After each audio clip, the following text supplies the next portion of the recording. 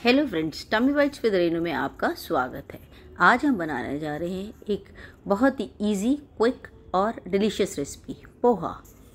उसको बनाने के लिए मैंने एक बड़ा बाउल पोहा लिया है और उसको दो ग्लास पानी में डिप करके आधे घंटे के लिए रख देंगे तो ये हमारा पोहा बनने के लिए रेडी हो जाएगा।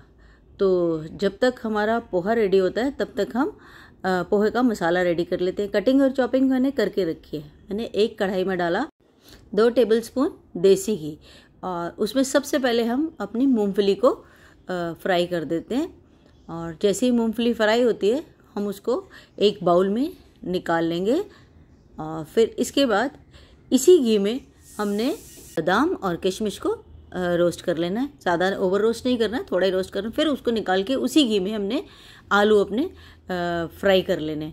आलू को हमने गोल्डन फ्राई करना है और इसको बहुत ज़्यादा नहीं हिलाएँगे। अगर हिलाएँगे तो ये गल जाते हैं ज़्यादा, टूट जाते हैं आलू।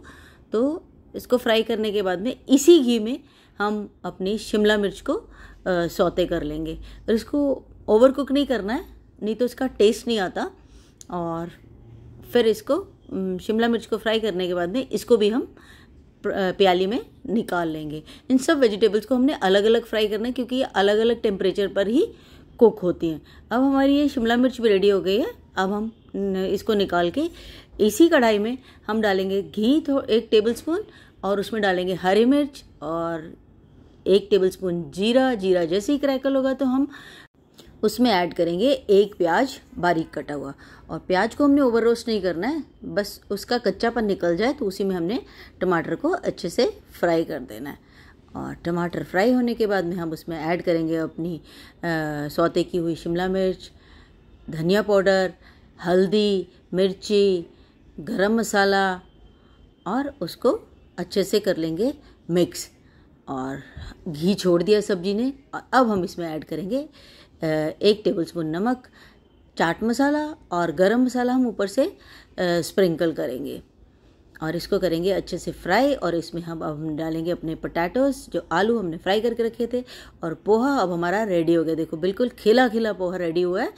और अब इसको हम कर देंगे हल्के हाथों से मिक्स और ये हमारा पोहा बिल्कुल रेडी हो गया है।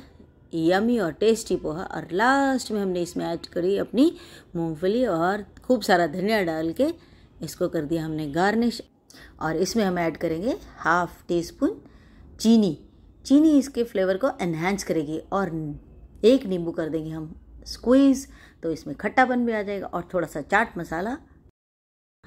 अब इसकी करते हैं हम प्लेटिंग मेरी इस इजी और क्विक रेसिपी को फॉलो करें और मुझे बताएँ कि आपको ये डिश कैसी लगी।